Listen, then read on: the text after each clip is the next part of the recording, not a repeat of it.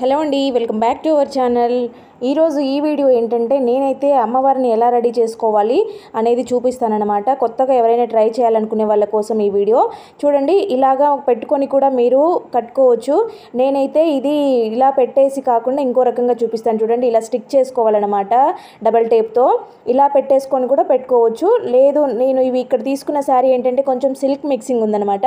ఇది ఇక కుచ్చుళ్ళు ఎలా అంటే కరెక్ట్గా కాటన్ శారీ ఫోల్డ్ అయినట్టుగా అట్లా ఫోల్డ్ అవ్వవు. కొంచెం అటు ఇటుగా అవుతూ ఉంటాయి. ఫస్ట్ టైం ట్రై చేసే వాళ్ళైతే కనుక కంపల్సరీగా పట్టు శారీ కానీ లేదంటే కొంచెం స్టిఫ్గా ఉండే కుర్చీలు ఉండే బెనారస్ బ్లౌజెస్ కానీ ఉంటాయి కదా అలా తీసుకోండి. నేనైతే ఇక్కడ బ్లౌజ్ పీస్తో చూపిస్తున్నాను. శారీతో ఇంకొక వీడియో చూపిస్తాను. ఇదైతే బ్లౌజ్ పీస్. బ్లౌజ్ పీస్ ఇట్లా అడ్డంగా కాకుండా పొడవుగా ఫోల్డింగ్స్ పెట్టుకోవాలన్నమాట. పొడవుగా ఉండే వైపు ఫోల్డ్ చేసుకోవాలి. ఎందుకంటే అడ్డం తక్కువ వస్తుంది బ్లౌజ్ పీస్ పొడవు ఎక్కువగా ఉంటుంది కాబట్టి పొడవుగా ఉండే వైపు ఇలా ప్రిల్స్ పెట్టుకోవాలి.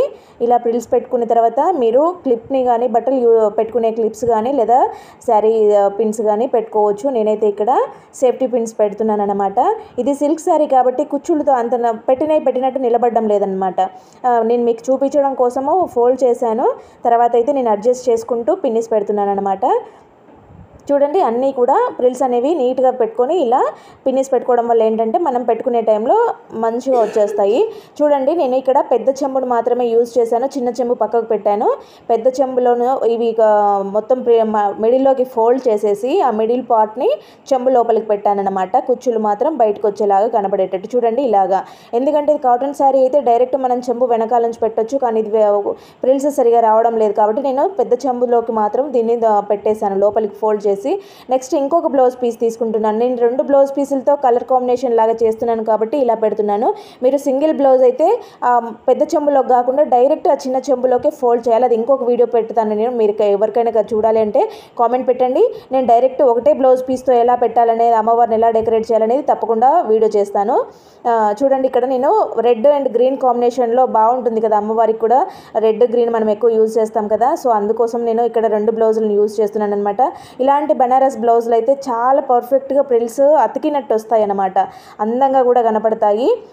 నేనైతే ఇక్కడ నా దగ్గర బార్డర్ ఉండే శారీస్ బ్లౌజ్ ఏం లేవని అది తీసుకున్నాను. సిల్క్ అయినా కూడా పర్లేదు నేను అడ్జస్ట్ చేసుకోగలను అనేసి. మీరు కొత్తగా చేసే వాళ్ళైతే బనారస్ బ్లౌజ్ కానీ కాటన్ బ్లౌజ్ కానీ ఇట్లా ఏదన్నా మంచిగా నీట్గా కూర్చుండే పెట్టండి. తర్వాత నేనైతే చూడండి ఇక్కడ ఊరిక మీకు వీడియో చూపించడం కోసం చేస్తున్నాను కాబట్టి వాటర్ కానీ బియ్యం కానీ కలుషంలో ఏం పోయలేదు. మీరు కావాలంటే కలుషంలో బియ్యం కానీ వాటర్ కానీ పోసేసుకోవచ్చు. తర్వాత టెంకాయ కూడా డెకరేట్ చేసుకోవచ్చు. అది ఇంకో వీడియో ఏదైనా చూపిస్తాను. నేనైతే జస్ట్ ఇలా అమ్మవారికి డ్రాపింగ్ లాగా మన బ్లౌజ్ పీస్తో డ్రాపింగ్ నేను చూపిస్తున్నాను అనమాట అమ్మవారికి చెవుల దగ్గర హోల్స్ ఇస్తారు అవి కమ్మలు పెట్టుకునే దానికే కాదు ఇలా దారంతో కూడా కట్టేసుకొని వెనకాల కదలకుండా అమ్మవారు కదలకుండా టెంకాయకే పట్టుకొని ఉండేలాగా దారంతో కట్టేసి వెనకాలకు పెట్టుకోవాలన్నమాట. తర్వాత చూడండి నేను ఇక్కడ వెనకాల చిన్న చెంబుకి కర్రలాగా కట్టాను కదా దానికి బ్యాంగిల్స్ వేసుకోవాలన్నమాట. ఇక్కడ మనం బ్లౌజ్ పీస్ పెట్టాను కదా పైన అమ్మవారికి బ్లౌజ్ రూపంలో పెట్టాను కదా ఆ బ్లౌజ్ని ఫోల్డ్ చేసి దానికే మనం ఇలా బ్యాంగిల్స్ పెట్టేసుకోవచ్చు అనమాట చూడండి ఇలాగా ఎలా కూర్చోబెడితే అలా కూర్చుంటుంది అనమాట మనం వెనకాల దారంతో కట్టుకుని దానికి పెట్టిన టైంలో. తర్వాత ఇంతే అండి మనం ఇంకా నగలు అవన్నీ మనం పూలదండలు అన్ని ఎన్ని అలంకారాలు కావాలంటే అన్ని అలంకారాలు అమ్మకి చేసేసుకోవచ్చు. చూడండి మిడిల్లో ఇలా మనము వడ్డానం లాగా మాత్రం కంపల్సరీగా ఒకటి పెట్టుకుంటే ఏమవుతుందంటే అక్కడికి ఒక పర్ఫెక్ట్ షేప్ లాగా వస్తుందన్నమాట అమ్మకి.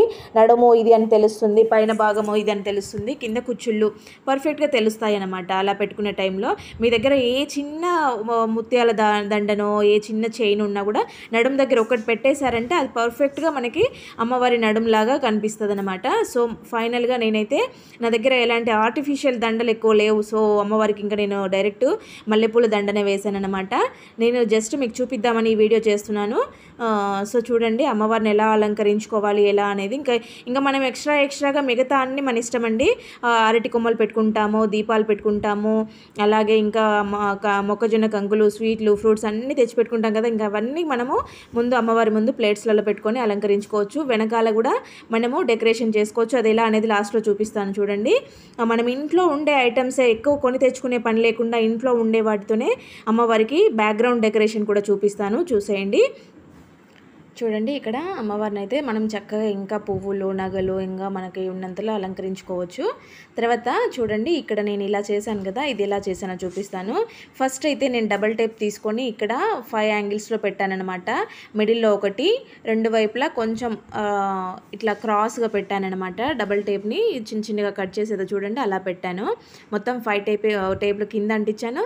అలాగే పైన మూడు అంటించాను. తర్వాత నా దగ్గర ఉన్న ఇలా ఒక డిజైనర్ చున్నీని తీసుకొని నేను ఇక్కడ స్టిక్ చేశాను అనమాట టేప్ కంటిస్తే అది అలాగే ఖర్చుకుంటుంది అనమాట చూడండి ఇలా ఇలా అంటించేసాను అనమాట ఫైనల్గా అదైతే ఇలా నిలబడింది. మధ్యలో కూడా నేను పెద్దది ఒక టేప్ అంటించేసి దాన్ని మిడిల్లో ఫోల్డ్ చేశాను. తర్వాత పైన మూడు పెట్టాను డబల్ టేప్ అన్నాను కదా.